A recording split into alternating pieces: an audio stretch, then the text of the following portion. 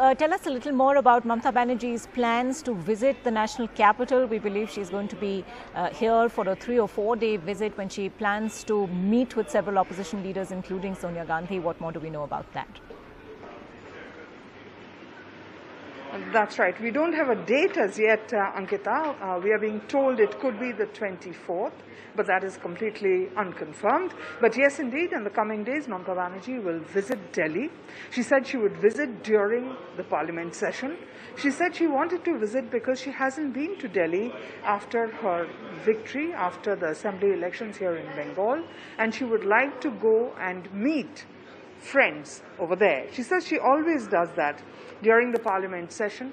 She goes across to Delhi and meets friends. Uh, at this time round, she'll be doing the same. Okay. She has also, of course, uh, said that she, uh, if there is time allotted to her by the Prime Minister and the President, she will meet them as well. But the significance of her visit at a time like this cannot be lost.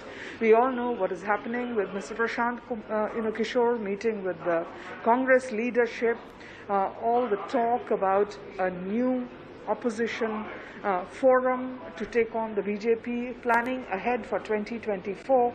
Mamata Banerjee did not say a word on all of that, right. but certainly uh, these will probably be on her agenda during her Delhi visit.